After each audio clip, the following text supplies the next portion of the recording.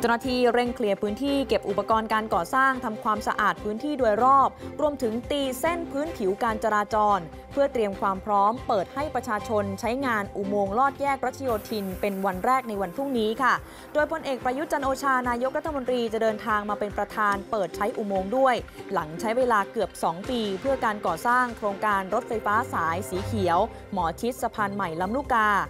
ด้านกองบัญชาการตำรวจนครบาลวางแผนจัดการจราจร เตรียมรองรับการเปิดใช้เส้นทางที่คาดว่าจะมีปริมาณรถหนาแน่น